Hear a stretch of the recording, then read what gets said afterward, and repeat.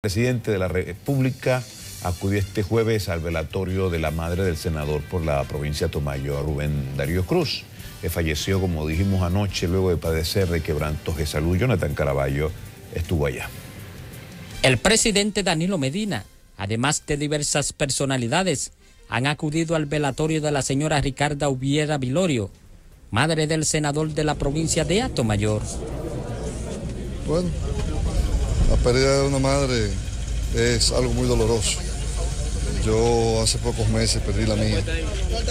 Y eso es indescriptible. Siempre estaba acompañado de su madre y que la mencionaba en sus discursos, de manera que para él era una persona muy especial. Pueda tener un hombre en vida, que es su madre.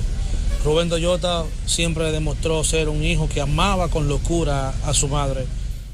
Doña Callita, como era conocida, murió a la edad de 87 años después de luchar contra los efectos de la enfermedad. La madre de nosotros, doña Callita, nosotros llegábamos temprano a su casa y lo primero era una sonrisa y un poquito de café.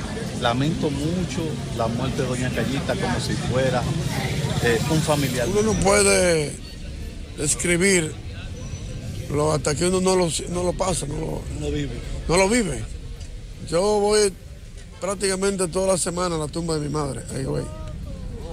Eh, y uno no puede describir el dolor que uno siente. Sabemos el aprecio, el cariño que Rubén siempre le tiene a su madre y sabemos que uno- son un momento difícil, pero hay que aceptar.